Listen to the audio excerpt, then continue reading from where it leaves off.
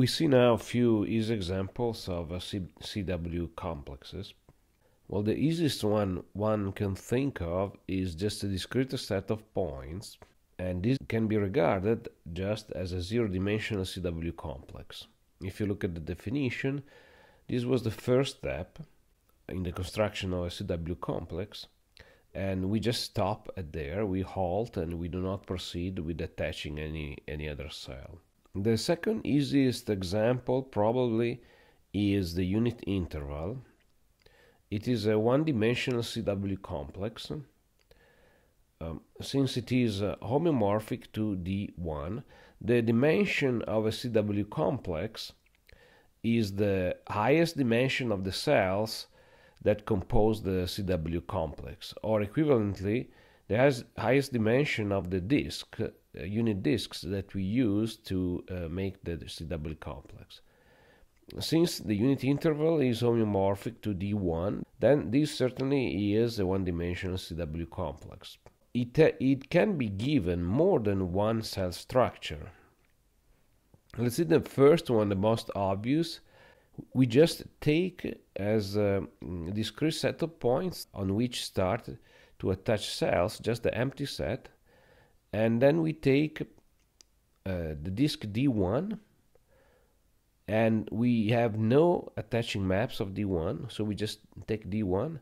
The equivalence relation we quotient by D1 is just the trivial one, so each point of D1 is equivalent to itself and no other point. So we have this trivial, if you will, uh, CW complex structure. Let's consider the following cell structure of the unit interval. We take as a zero skeleton the disjoint union of two points, D0 here and D0 here. Disjoint union with, and we just take one disk, D1, right here so let's draw them down. We have two points, one here and one here, and then as disjoint union, a unit disk here. Let's first analyze what the attaching maps are. The attaching map is unique and goes from the unique uh, D1 disk, one-dimensional disk that we have, to the zero-dimensional skeleton which is this one, the disjoint union of these two points. So it goes from the boundary of the one, which is again disjoint union of two points, this and this, going to the zero skeleton, is just a bijection, sending one point to one point and the other point to the other point. Now let's see what the result is in the quotient set by the equivalence relation which makes uh, equivalent this point to this and this point to that. So first we have in the quotient set the images, the, the equivalence classes of these two these two uh, points that are the it is the zero skeleton. And once we identify um, these two points with the, the d1 via the attaching map we get this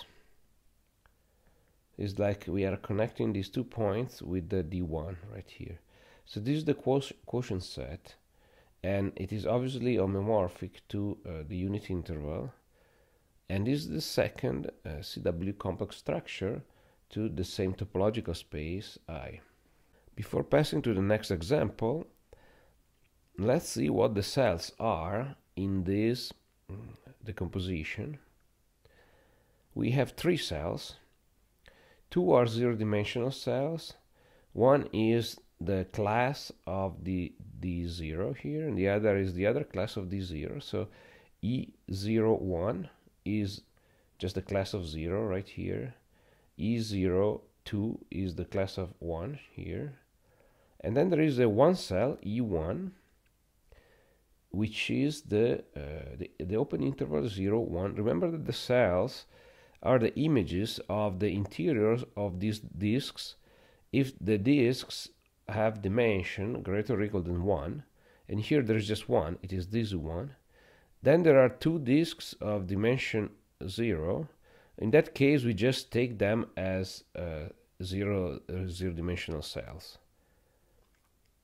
So e, uh, E01 corresponds to this D0, E02 corresponds to this D0, and then the E1 is the interior because it is the image of the um, it, is the image in the quotient set of the interior of D1 so it will be the open interval between 0 and 1 as a third example we will discuss the S1 the unit circle and we will give it a one-dimensional CW complex structure as follows.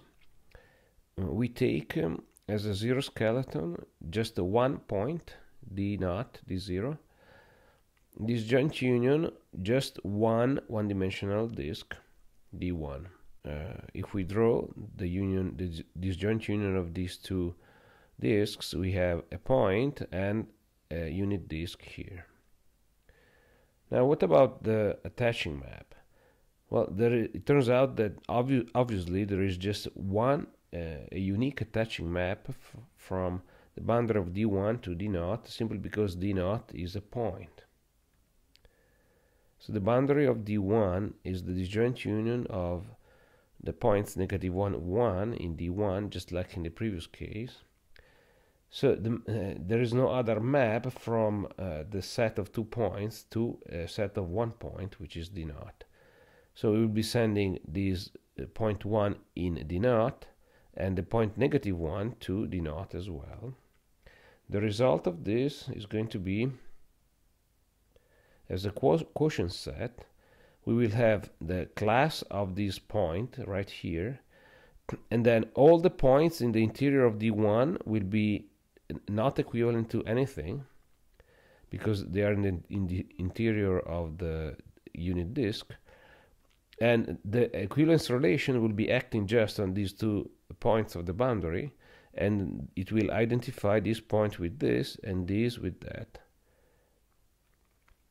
So we will be getting a circle where the, there is a point right here which will be the image in the projection of this point and also of this point and this point. And every, every other point in the circle will be the image of the open part of uh, the interior of D1. What are the cells in this, this decomposition? Well, the cells, uh, there are just two cells. One is the image of D naught, which will be this point here, E naught. And then there is a one cell, which is the complement of this in here. This is the image of the interior of D1. We may wonder now what a one-dimensional CW complex will look like after we, we have seen uh, a couple of examples of one-dimensional uh, uh, CW complexes. Well, a one-dimensional CW complex is something like this, where we have a bunch of uh, uh, points, one, two, three, four, and so on, and to each we will attach disks, one-dimensional disks and the attaching maps can be either since the the the the boundary of D1 is just a disjoint union of two points mm, there are just two possibilities for att attaching maps. One is that these two points go to two different points in the zero skeleton for example like uh, in here. In this case we attach the one uh, dimensional disk uh, to, mm, separately separately to these two points and also right here or else the two points in the boundary can go to a unique point in the zero uh, skeleton. So these things are circles but they have a different uh, uh, CW complex structure than the one before because they are obtained for example this one is obtained by taking as a zero skeleton three points and then three unit disks being attached to uh, to this skeleton by taking always um, a bijective uh, map from the boundary of the unit disk to uh, two of the points in the zero skeleton. So we can get a, like in this case, a different cell structure of the circle uh, than the one we discussed before in uh, point uh, 3, in the example 3. So these one-dimensional CW complexes are called graphs. And this is an example of uh, one of them. This is not a connected uh, uh, one-dimensional CW complex. As we see here, there are three connected components, one here, one is just a point, and the other is this. Let's go higher up in the dimension, and as a fifth example, we consider spheres Sn. Sn is an n-dimensional CW complex, as we will see. And once again, we have more than one cell structure. The most obvious one is the generalization of the one we have seen in example 3. We take just two disks, one in dimension 0 and one dimension n. And as attaching map, now the boundary of the n is a n minus 1 dimensional sphere, is no longer a disjoint union of two points. But uh, the only way I can attach this to the uh, n minus 1 skeleton in this structure is just attaching it to the unique point in the zero skeleton. Here there are no intermediate disks, so uh, Sn in this decomposition will have just a zero skeleton, and then the uh, the one skeleton, two skeleton, three skeleton will coincide with just the zero skeleton, up to the n minus one skeleton, which still be the the, the just d naught, so the zero skeleton, and the attaching map can be just the constant map to from the s, mi s minus 1 sphere to the point d naught. And the quotient set will have a class of d naught. Um, the the points in the boundary of n will be equivalent, all equivalent to the point in uh, d naught, and then everything else is sent homeomorphically uh, on uh, in the in the quotient set. Therefore, this is going to be exactly a, S, a, dimensional sphere Sn. A second cell decomposition of Sn can be can be given as follows. Um, we take a n minus 1 dimensional skeleton of Sn and we take Sn minus 1 as uh, such a skeleton and then we take two n-dimensional disks, which we will call D1 and D2.